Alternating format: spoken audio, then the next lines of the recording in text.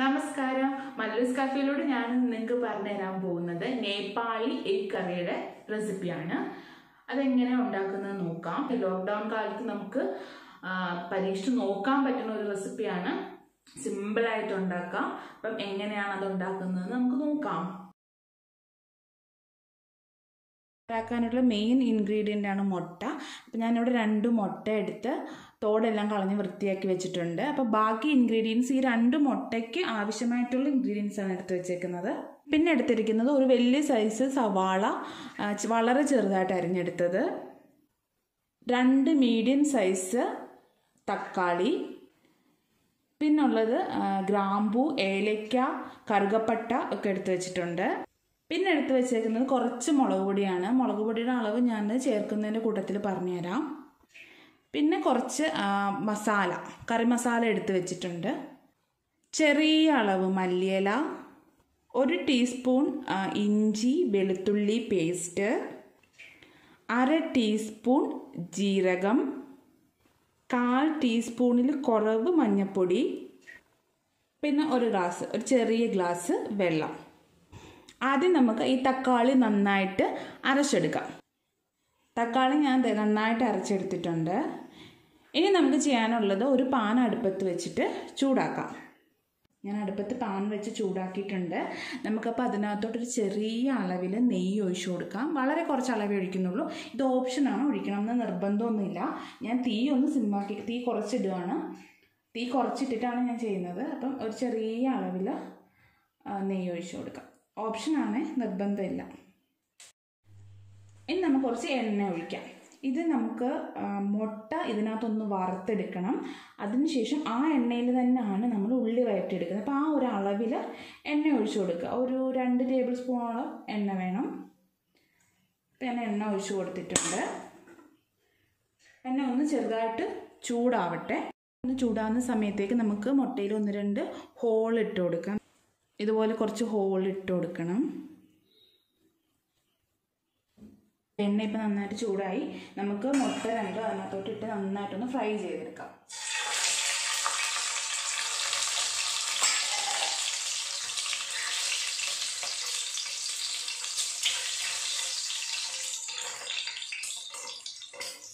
എല്ലാ സൈഡും നന്നായിട്ടൊന്ന് ബ്രൗൺ കളർ ആവുന്നത് വരെ ഫ്രൈ ചെയ്യണം.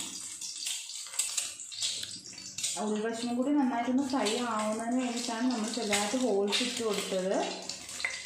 അപ്പോൾ ഇത് ഫ്രൈ ആയിക്കൊണ്ടിരിക്കുകയാണ്. ആ അപ്പോൾ മുട്ട രണ്ട് ഒരു ഫ്രൈ ആയിട്ടുണ്ട്.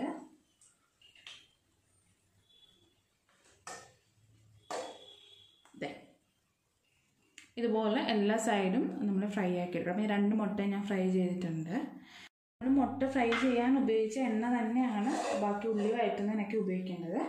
പിന്നെ ഞാൻ ആ എണ്ണയിലോട്ട് ആ നമ്മൾ എടുത്ത് വെച്ചിരുന്ന അര ടീസ്പൂൺ ജീരകം ഇട്ട് കൊടുക്കുകയാണ്.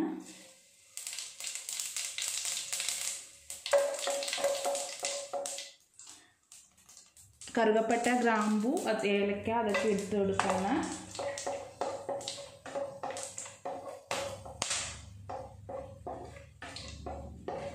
നമുക്ക് അതിനകത്തോട്ട് വയറ്റാൻ വെച്ചിരിക്കുന്ന ഉള്ളി ചേർത്ത് കൊടുക്കാം.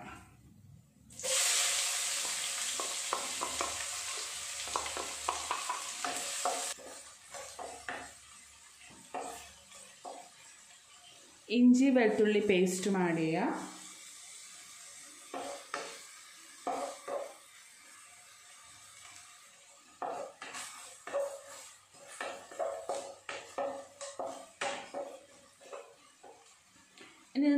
നന്നായിട്ടൊന്ന് ഉള്ളി വഴണ്ട് വരുന്നത് വരെ നന്നായിട്ട് ഇളക്കി കൊടുക്കണം.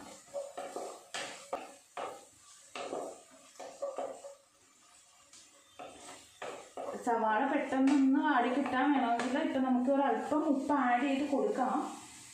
ഉപ്പ് ആഡ് ചെയ്യുവാണെങ്കിൽ ലാസ്റ്റ് ഉപ്പിന്റെ പാകം നോക്കിയതിന് ശേഷമേ ഉപ്പിട്ട് കൊടുക്കാവൂ. ഓർക്കാതെ ഉപ്പിട്ട് കൊടുക്കരുത്. അപ്പോൾ ഞാനിപ്പോൾ ഒരു ശകലം ഉപ്പ് ആഡ് ചെയ്യുന്നുണ്ട്.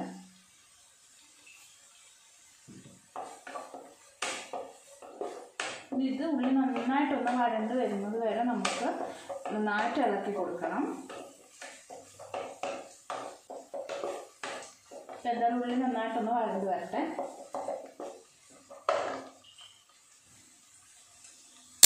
അപ്പം ഉള്ളി വരണ്ട് വന്നിട്ടുണ്ട്. ഇനി നമുക്ക് എടുത്ത് വെച്ചിരിക്കുന്ന പൊടികളൊക്കെ ഇതിനകത്ത് ചേർക്കാം.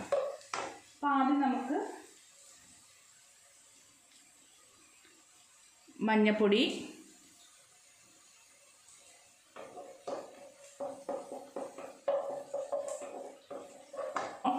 മുളക് പൊടി ഞാൻ ഒരു ടേബിൾ സ്പൂൺ എടുത്തിട്ടുണ്ട്. ഞാൻ അതുകൂടെ ഇട്ട് കൊടുക്കുക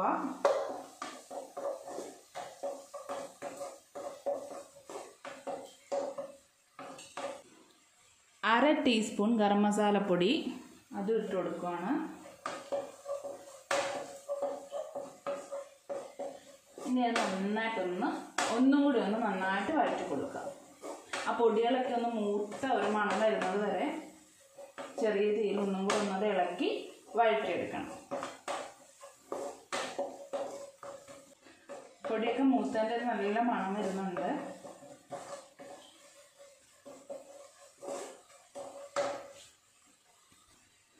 ഇനി ഇതിനകത്തോട്ട് നമുക്ക് നമ്മൾ അരച്ച് വെച്ചിരിക്കുന്ന തക്കാളി ചേർത്ത് കൊടുക്കാം.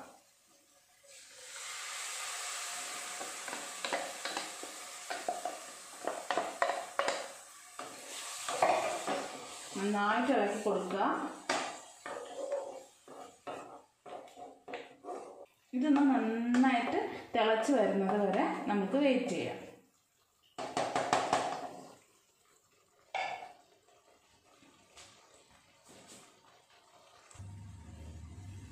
തക്കാളിയും കൂടി ചേർത്ത് ഇത് നന്നായിട്ട് തിളയ്ക്കുന്നുണ്ട്.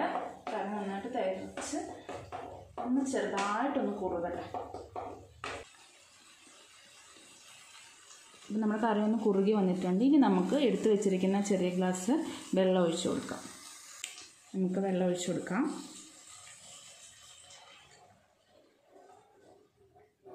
ഈ സമയത്ത് വേണം ഉപ്പിന്റെ പാകം നോക്കാൻ വേണ്ടിയിട്ട്. ഉപ്പ് ഉണ്ടോ നോക്കിയിട്ട് ആവശ്യത്തിന് ഉപ്പ് ചേർത്ത് കൊടുക്കുക നമുക്കത് കുറച്ചും കൂടി ഉപ്പിന്റെ ആവശ്യമുണ്ട്. ഞാൻ ഉപ്പ് ചേർത്ത് കൊടുക്കുകയാണ്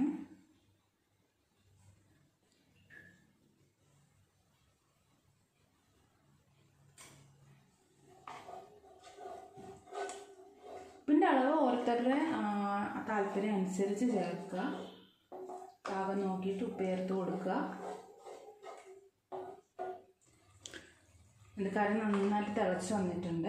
അപ്പോൾ നമുക്ക് മല്ലിയില ചേർത്ത് കൊടുക്കാം. മല്ലിയില ചേർത്ത് കൊടുക്കാം. കുറച്ച് അളവിൽ ചേർത്താൽ മതി. ഞാൻ എടുത്തു വെച്ചിരിക്കുന്ന അത്രയും ചേർത്തിട്ടില്ല. കറി നന്നായിട്ട് തിളച്ച് വരണം. വരുമ്പോഴാണ് മുട്ട ചേർക്കേണ്ടത്.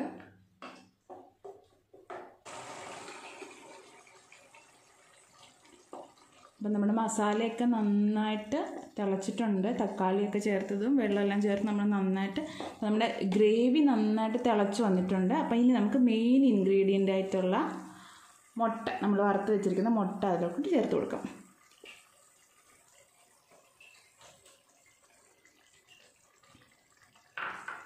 നന്നായിട്ടൊന്ന് ഇളക്കുക.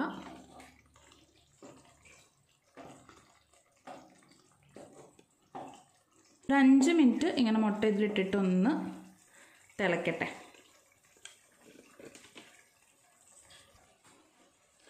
മുട്ടയ്ക്ക് ചേർത്ത് നമ്മൾ കറി നന്നായിട്ട് തിളച്ച് ചെറുതായിട്ട് കുറുകി വന്നിട്ടുണ്ട്. ചെറു നന്നായിട്ട് കുറുകി എത്തിയിട്ടുണ്ട്. നല്ല വാസനയൊക്കെ വരുന്നുണ്ട് കറിയുടെ അപ്പം നമ്മുടെ കറി ഒന്ന് നന്നായിട്ട് കുറുകിയിട്ടുണ്ട്. അപ്പം ഇനി നമുക്ക് സ്റ്റൗ ഓഫ് ചെയ്യാം. കാരണം നമ്മുടെ കറി റെഡിയായി. അങ്ങനെ നമ്മുടെ നേപ്പാളി എഗ് കറി റെഡി ആയിട്ടുണ്ട് നമുക്ക് സ്റ്റൗ ഓഫ് ചെയ്യാം.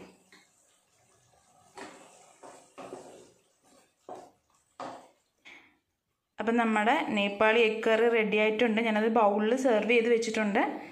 അപ്പോൾ എല്ലാവരും വീഡിയോ കണ്ടു നോക്കി റെസിപ്പി ചെയ്തു നോക്കുക അഭിപ്രായങ്ങൾ അറിയിക്കുക.